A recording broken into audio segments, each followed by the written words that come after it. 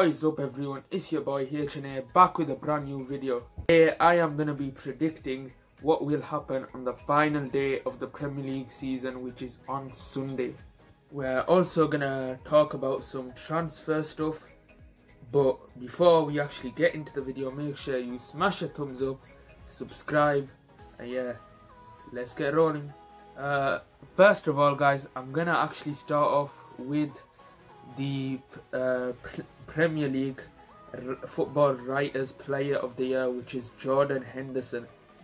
Uh, if you do not know what this award is, it's basically a an award which is given to players and it is voted for by uh, I think like people who write about football and like football journalists.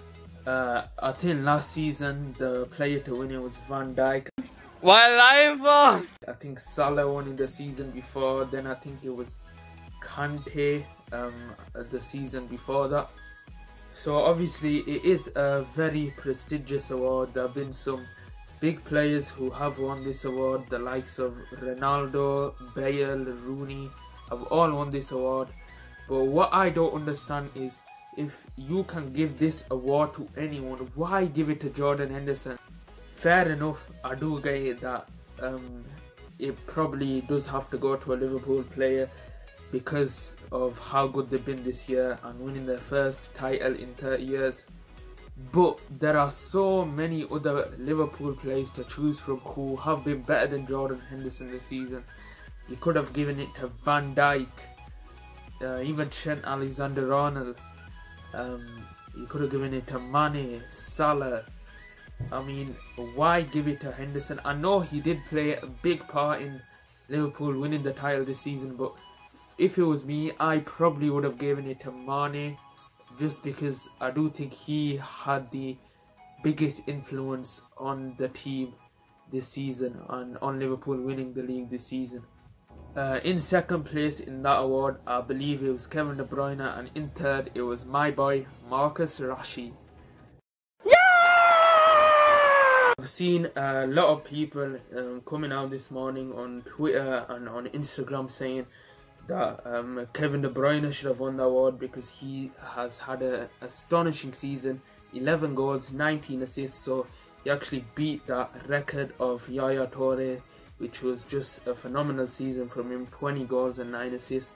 So De Bruyne overall has 30 goal contributions in the league this season, which is just astonishing to be fair, if De Bruyne did win the award, I mean, I would, uh, I'd say he would, he deserves it, but um, Jordan Henderson probably not.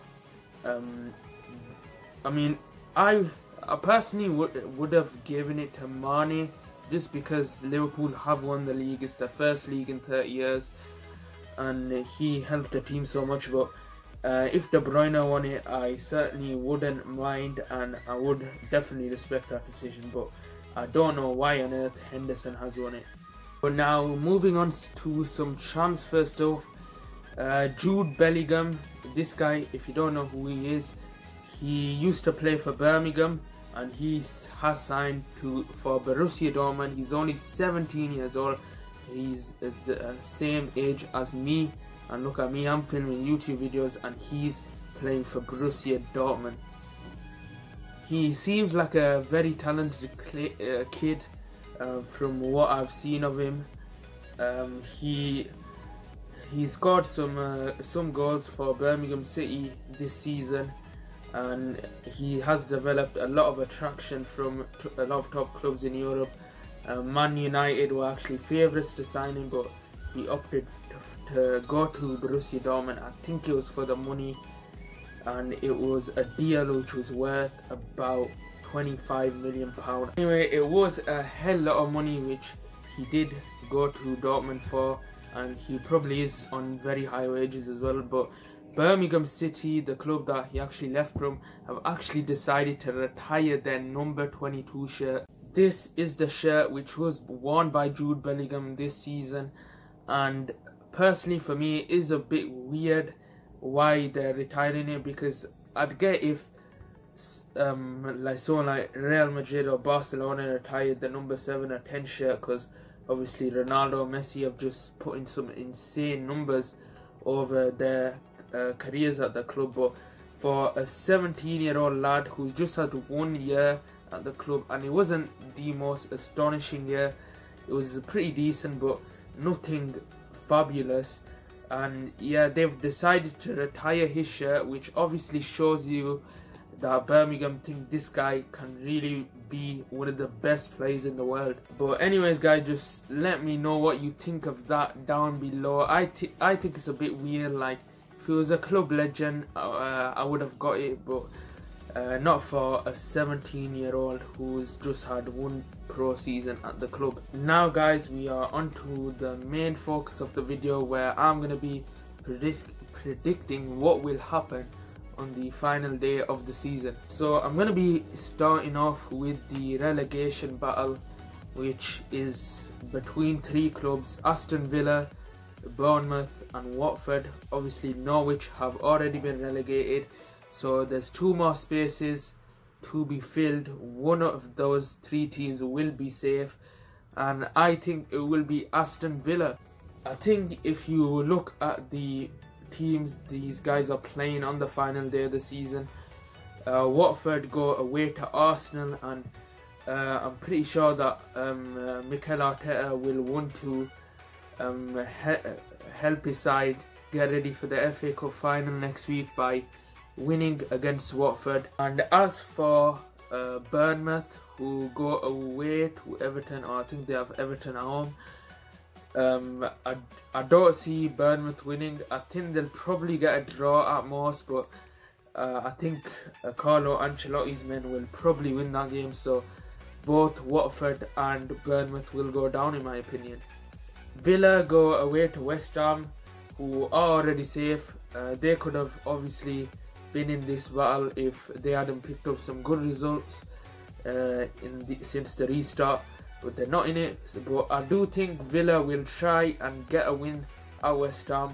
Uh, I'm not sure if they'll do it, but I, de I definitely think they'll get a draw. And even if they lose, it could still be enough to keep them safe. Now, as for uh, European qualification, I'm gonna quickly talk about the Europa League. Sixth place will be enough for Europa League uh, finish at the end of the season because Man City won the League Cup back in February and they've obviously finished in the Champions League place so it gets passed down to sixth place and I think Tottenham will get that sixth place. I think that with Spurs going away to Palace on the final day of the season they will probably win at Selhurst Park whilst Wolves have a much tougher game away to Stamford Bridge and I don't see them winning so I think that uh, Spurs will probably pip them to that sixth place finish. But if uh, Arsenal don't win the FA Cup, uh, Wolves could still get Europa League football. Now this is where it gets interesting, guys. The top four race,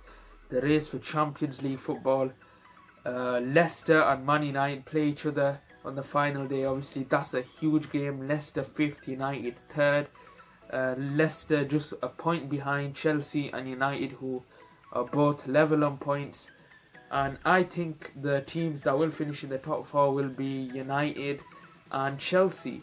I think Chelsea will probably win against Wolves, so that will all they need is a point basically to get them the Champions League. So I definitely think they will get that point, uh, a win, which will guarantee them third or fourth spot.